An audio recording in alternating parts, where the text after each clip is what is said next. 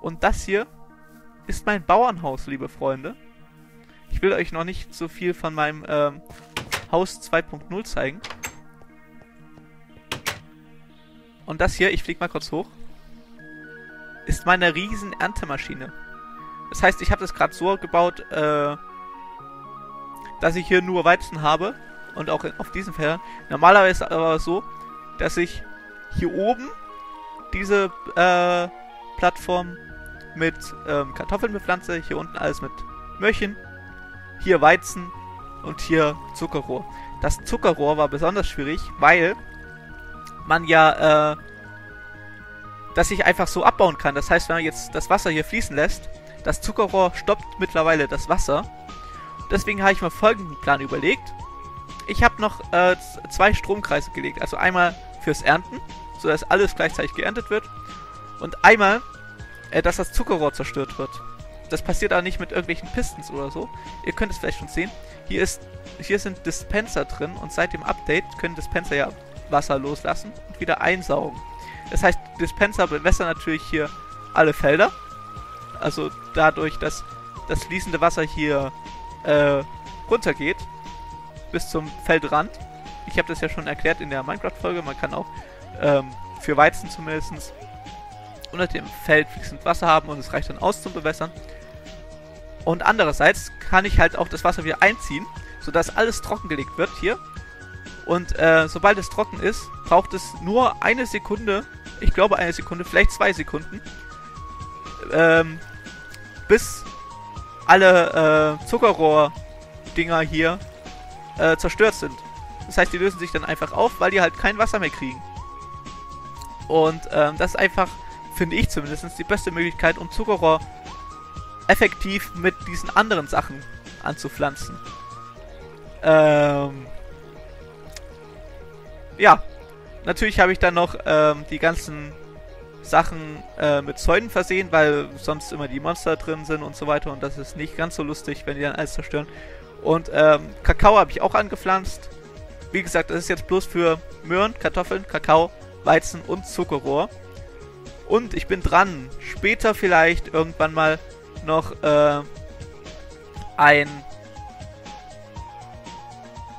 ja, eine Maschine für automatisches Melonenernten zu machen. Aber ich möchte es so machen, dass sobald eine Melone gewachsen ist, die Melone geerntet wird. Das heißt nicht irgendwas mit Timer oder halbautomatisch, sondern wirklich komplett vollautomatisch. Das geht, das weiß ich. Ist aber schwierig zu realisieren, deswegen habe ich mich auch noch nicht dran getraut.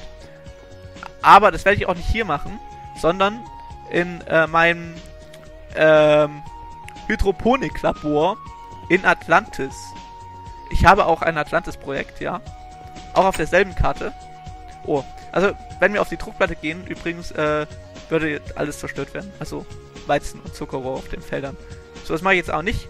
Hier unten gehen wir bloß runter ins Lagerhaus. Da ist nichts weiter Interessantes. Da sind einfach bloß, äh, ja, das Ding ausgehöhlt mit Kisten. Da kommt das Zeug an und ich stecke das direkt in die Kisten rein.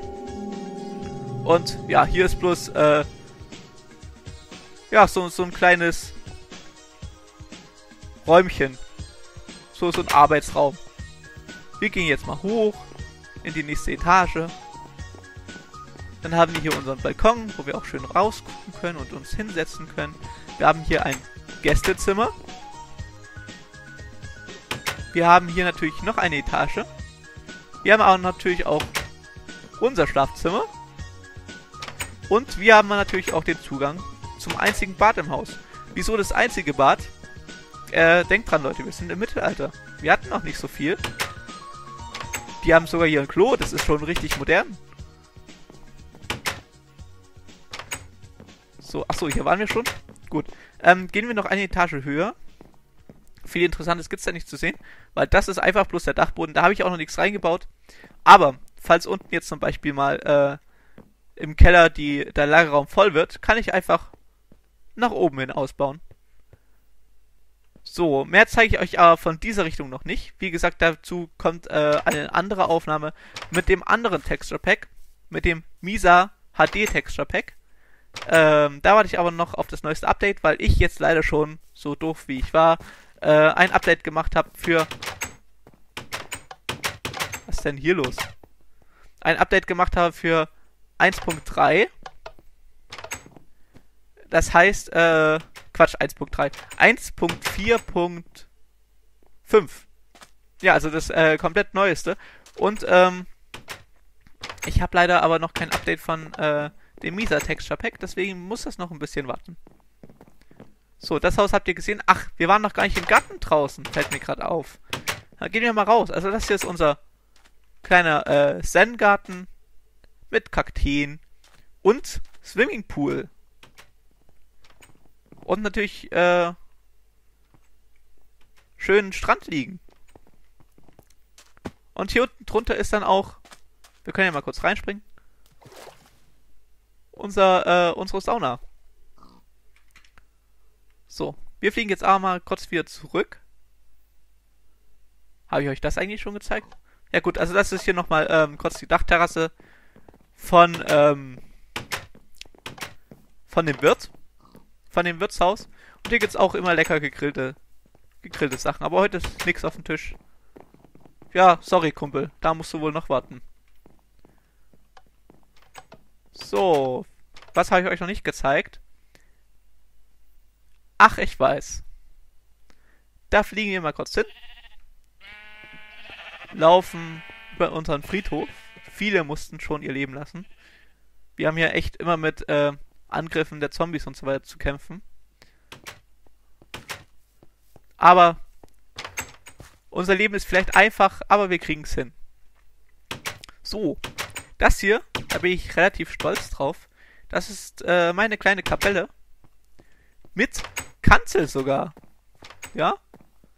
Vielleicht wird später noch irgendwie äh, ein Pult hinzugefügt. Da könnte ich das hier auch noch irgendwie dran bauen, drauf wie auch immer. Und dann haben wir hier sogar eine Kanzel, die man betreten kann. So, wir gehen aber mal hinten raus.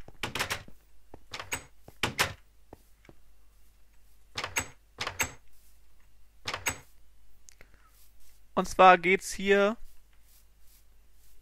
zur alten Ruine, die jetzt aber wieder neues Leben bekommen hat durch die Dorfbewohner. Das heißt, wir sind am Aufbauen, beziehungsweise haben den Aufbau schon so gut wie abgeschlossen.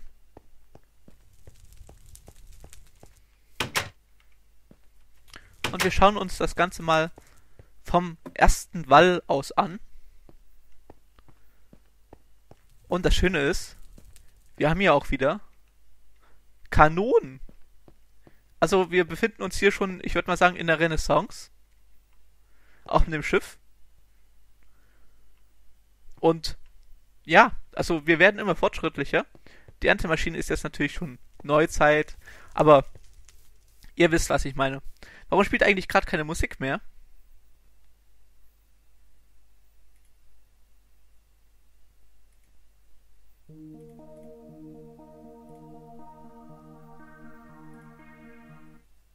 Ja. Wie auch immer. So, Musik spielt wieder. Ähm, ich zeige euch die Burg. Genau. So.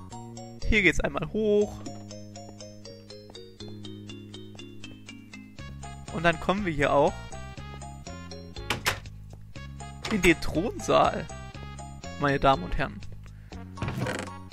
Der jetzt aber noch keine funktionelle Bedeutung hat, sondern wirklich hauptsächlich äh, rein dekorativ. Wie das meiste in meiner Welt.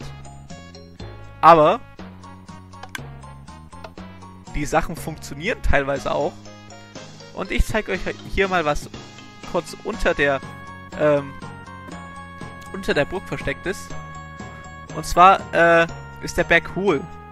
Das heißt, äh, das war hier nur eine schmale Klippe und ich habe hier echt riesiges Terraforming betrieben. Ich habe äh, den Berg künstlich aufgeschüttet, dass ich hier äh, wirklich die gesamte Burg draufkriege, die, die gesamte Anlage. Ähm, Moment, ich fange mal an. Die Wachkabine. Für die einzelnen Wachen habe ich auch noch keinen Namen. Aber mit der Zeit wird sich meine Community hoffentlich vergrößern.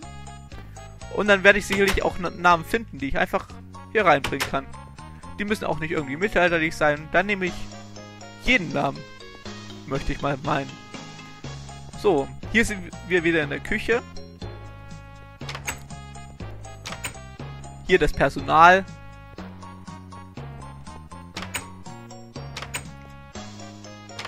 Hier ein Lagerraum.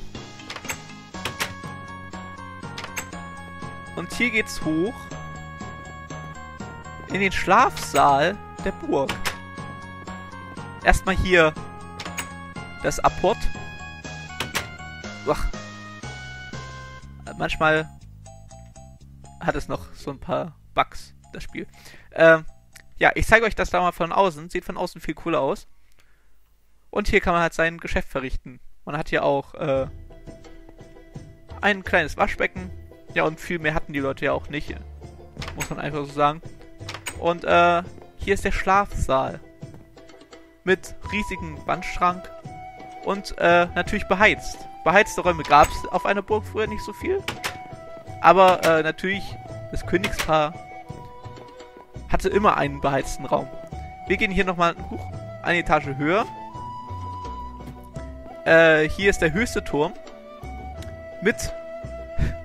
Ich habe noch keinen Namen, aber ich nenne sie jetzt einfach mal Sepp und Meier. Die zwei Wachhabenden, die äh, hier wirklich jeden Tag wach schieben und unermüdlich sind. Und ähm, hier geht's auch noch runter. Und hier geht's äh, wieder in den Außenbereich hinaus. Und zwar, ähm, also man kann ja einmal rumlaufen. Das muss ich euch jetzt nicht groß zeigen. Hier geht's in den Außenbereich und zwar habe ich hier eine Allee angelegt. Also ungefähr so breit wie das hier. So breit war auch der Berg. Also das hier unten, das hier hinten war natürlich, äh, natürlich, natürlich. Also habe ich nicht irgendwie verändert hier hinten. Aber den Berg hier habe ich schon nach hinten hin. Also das hier alles habe ich aufgeschüttet. So groß war der Berg nicht. Man sieht auch ungefähr, was ich aufgeschüttet habe. Was mich nicht weiter stört. Weil, ähm, ich finde es trotzdem noch relativ natürlich. Obwohl das Gras mich hier schon ein bisschen stört. Das müsste ich mal noch verändern. So, und hier seht ihr praktisch das Badezimmer von der anderen Seite. Und das Ganze sieht dann so aus. Also der, der, der ähm, See hier war übrigens auch so. Das hat sich ja alles nicht verändert. Und ja, das ist die Burganlage gewesen.